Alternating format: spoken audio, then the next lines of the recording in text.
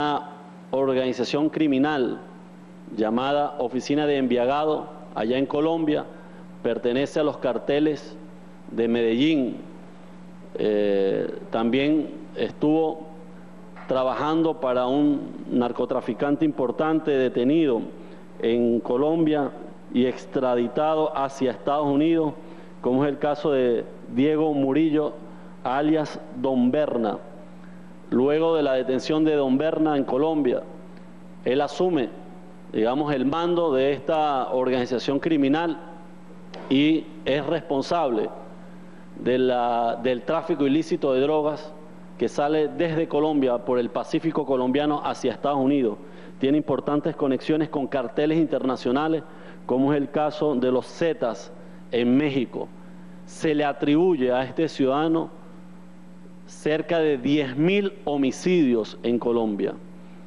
Por ello, la, queremos destacar la importante labor de nuestros organismos de seguridad y además la eficacia y, el alto nivel operativo que hemos desplegado para la detención de este importante eh, narcotraficante. En consecuencia, con estas dos detenciones suman ya, y queremos mostrar la lámina, 21, 21 personas detenidas durante el año 2011. También queremos de igual manera informar que fueron detenidos dos ciudadanos de nacionalidad holandesa estas últimas semanas, requeridos también con difusión roja a través de Interpol por distintos países por la misma comisión.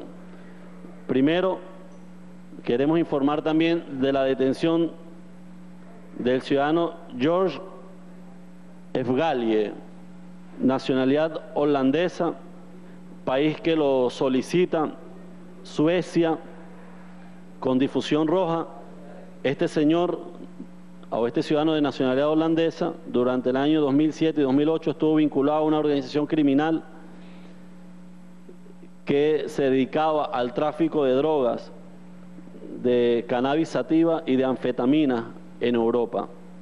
Fue capturado el pasado 22 de noviembre por el 6CPC aquí en el Distrito Capital, en el Centro Comercial La Hollada. También fue detenido el pasado 13 de diciembre, hace pocos días, en el estado Nueva Esparta, otro ciudadano de nacionalidad holandesa, Antonio Van der Tan, también responsable de una organización dedicada al tráfico ilícito de drogas entre España y Francia.